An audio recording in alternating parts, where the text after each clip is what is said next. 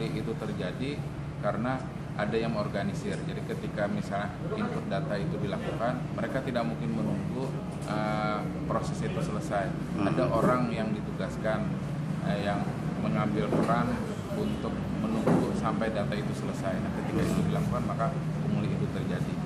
Dan yang yang sangat rentan pungli itu juga adalah ketika misalnya uh, orang mau apa namanya uh, pindah alamat atau menambah jumlah anggota di dalam kartu keluarga atau misalnya kehilangan KTP harus cetak ulang.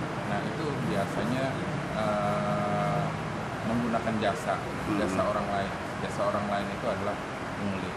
Jadi yang yang biasanya itu digunakan adalah uh, staf di kelurahan yang bertugas sampai ke diskup capil.